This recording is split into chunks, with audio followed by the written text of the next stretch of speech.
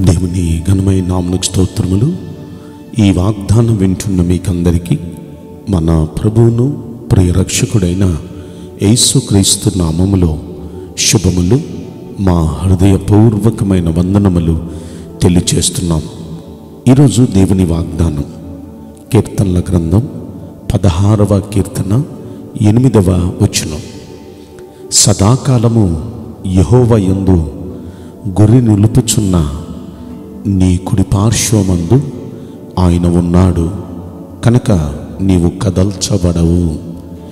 ఈ మంచి వాగ్దానం వింటున్న మనందరి వెనికిడిలో మన మంచి దేవుడు నెరవేర్చునుగాక ఆ మేన్ ప్రియ దైవ జనాంగమా ఈ వాగ్దానాన్ని ఒక్కసారి మనం పరిశీలిస్తే ఇక్కడ భక్తుడైన దావీదు ఒక చక్కని మాట అంటున్నాడు. సదాకాలము ఎప్పుడు దేవుని మీద నేను గురి నిలుపుచున్నాను అంటాడు. దేవుని మీద గురి నిలుపుచూ ఉన్న వ్యక్తి సదాకాలము గురి నిలిపితే అలాంటి వ్యక్తి కుడి పార్శ్వమందు ఆ దేవుడే ఉండబోతున్నాడు.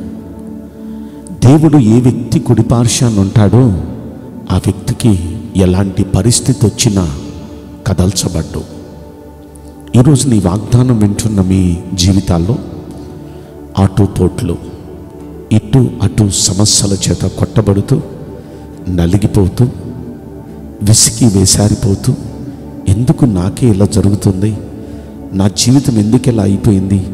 అని మీలో మీరు నలిగిపోతూ కుమిలిపోతూ ఉన్నారా? ఇలాంటి ఈ పరిస్థితుల్లో దేవుని మీద దేవుడైన యహోవా మీద మీ గురిని నిలిపితే ఆయన మీ కుడి పార్శ్వమంలో ఉంటాడు మీ కుడి ప్రక్కనే ఉంటాడు. ఎలాంటి పరిస్థితులు వచ్చినా మీరు ఇక కదల్చబడరు. ఎలాంటి పరిస్థితి వచ్చినా కదల్చబడరు. ఆయనే అన్నారు కదా యశాగ్రంథం నలభై మూడవ అధ్యాయంలో నీవు జలములలో పడి దాటినప్పుడు నేను నీకు తోడై ఉన్నాను. నదులలో పడి వెళ్ళినప్పుడు నేను నీకు తోడై ఉన్నాను. ఆ జలములు నిన్ను ముంచలేవు అగ్ని నిన్ను కాల్చలేదు అన్నాడు. దేవుడు మన కుడి ప్రక్కనుంటే ఎలాంటి పరిస్థితులు గుండా వెళ్ళినా అవి మనల్ని ఏమీ చేయలేవు. దావిది భక్తుడు కూడా ఇరవై మూడో కీర్తనలో నాలుగో వచ్చులను అంటాడు గడాంధకరపు లోయలో నేను సంచరించిన ఏ అపాయానికి నేను భయపడను. ఎందుకంటే ఆయన నాకు తోడున్నాడు. ఆయన తుడ్డుకర్ర ఆయన దండం నన్ను ఆదరిస్తుంది అంటాడు. అంటే ఎంత గడాంతకరమైన పరిస్థితుల్లోకి తను వెళ్ళిపోయినా దేనికి భయపడిన అంటున్నాడు. తన ధైర్యం ఎవరంటే దేవుడే. ఇలా మనం ఆలోచిస్తే నలభై ఆరవ కీర్తనలో కౌరవ కుమారులు కూడా ఇదే మాట అంటారు.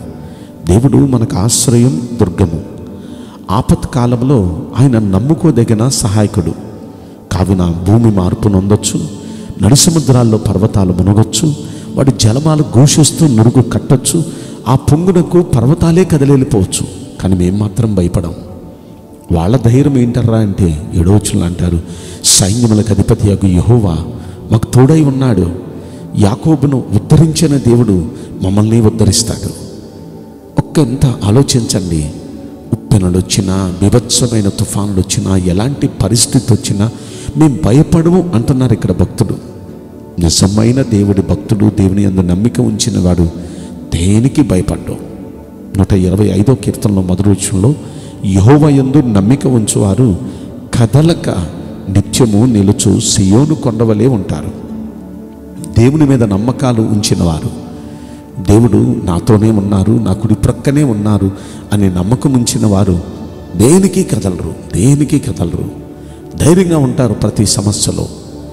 అక్కడ ఇంకొక మాట అంటాడు ఎరుషులేము చుట్టూ పర్వతాలు ఎలా ఉన్నాయో యహోవా ఇది మొదలుకొని నిత్యము తన ప్రజల చుట్టూ ఉంటాడు. ఎప్పుడు ఆయన ఉంటాడు. ఎవరి చుట్టూ అంటే అందరి చుట్టూ కాదు ఆయన ఎందు నమ్మిక ఉంచిన వారి చుట్టూ. ఆయన ఎందు నమ్మిక ఉంచిన వారిని తన ప్రజలు అంటున్నాడు ఆయన. తన ప్రజల చుట్టూ ఆయన తన దూతలను కావలు ఉంచుతాడు. కాబట్టి దేవుడు తన దూతలను కావలు ఉంచి మనల్ని రక్షించాలన్నా మన దేవాది దేవుడు మన కుడి ప్రక్కన ఆయన నిలబడాలన్నా మనం చేయాల్సిన పని ఏంటంటే సదాకాలం ఎప్పుడు అప్పుడప్పుడు కాదు ఎప్పుడు ఆయన మీదే మన గురి నిలపాలి. ఆయన ఉన్నాడు మన కుడి పార్శ్వంలో ఆయన ఉన్నాడు అనే ధైర్యంతో బ్రతకాలి. అలా బ్రతికితే ఎన్నొచ్చినా అవి మనల్ని ఏమీ చేయలేవు మనల్ని ఏమీ చేయలేవు. ఈ దావిద్ భక్తుని పరిస్థితి మనం పరిశీలిస్తే ఈయన పద్యంలో కీర్తనలో ఒక మాట అంటాడు మరణ పాశ్యములు నన్ను చుట్టుకున్నాయి. నాలుగో వచ్చంలో భక్తిహీనులు వరద పొర్లు వలె నా మీద పడి బెదిరిస్తున్నారు అంటాడు పాతాళపు పాశ్యములు నన్ను అరికట్టిని మరణపు ఉరులు నన్ను ఆవరించిని అంటాడు.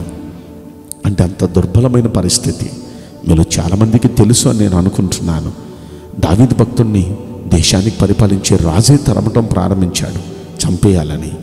రాజు ఒక్కడు కాదు రాజుతో పాటు సైనికులు. సైనికులు మాత్రమే కాదు రాజ్యములో ఉన్న ప్రతి ఒక్కరూ ఒక్క దావీదును పట్టుకొని చంపాలని ఎంతమంది ప్రయత్నం చేశారు. పద్నాలుగు సంవత్సరాలు తరిమాడు కానీ దావీదును వారేమీ చేయలేకపోయారు. కారణం దేవుడు ఆయనకి తోడున్నాడు. దేవుడు తోడున్నాడనే నమ్మకంతోనే ధైర్యంగా ఉంటున్నాడు. ఆయన ఏది నమ్మాడో అదే దేవుడు చేశాడు.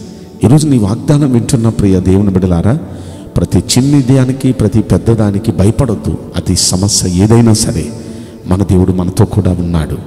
మన దేవుడు మనల్ని ఉద్ధరిస్తాడు. మన దేవుడు మనల్ని ఆదరిస్తాడు. చేయి విడిచిపెట్టడు. సదాకాలం దేవుని మీద గురి నిలపండి. ఆయన మీద గురి నిలిపిన వారి కుడి పార్శ్వమున ఖచ్చితంగా ఆయన ఉంటాడు. ఈరోజు ఆయన మీద గురి నిలిపే మీ కుడి పార్శ్వమందు దేవాది దేవుడు సదాకాలం ఉండునుగాక. మిమ్మల్ని ఆదుకొనుగాక ఆ నేను మీకోసం ప్రార్థన చేయబోతున్నా. పరిశుద్ధుడా ప్రేమలేసు రాజా మీ పరిశుద్ధ బంగారు పవిత్రమైన నామ్మునకు నిండు మనసుతో కోట్ల కొలదిగా స్థుతులు స్తోత్రములు వందనాలు చెల్లిస్తున్నాం. ఈ వాగ్దానం వింటున్న ప్రియుల జీవితంలో దయచేసి ఈ వాగ్దానం నెరవేర్చి కృప చూపించండి. సదాకాలము మీ మీదే గురి నిలిపిన మీ ప్రియ బిడ్డలందరి జీవితాల్లో మీరు వారి కుడి పార్శ్వముందుండి వారిని ఆదుకోండి వారిని రక్షించండి వారిని ఉద్ధరించండి పరిస్థితులన్నీ మార్చండి. మా ప్రార్థన వినినందుకు నీ ప్రియబిడలకి ప్రార్థన ఆశీర్వాదకరంగా మార్చినందుకు కోట్ల కొలదిగా కృతజ్ఞత స్తోత్రములు చెల్లిస్తూ నజరుడిని యేసుక్రీస్తు ప్రశస్తమైన నామంలో మిక్కిలి వినయముతో ప్రార్థించి బ్రతిమలాడి వేడుకుంటున్నాం. ప్రియ పరలోకపు తండ్రి Amen. May God bless you all. Thank you.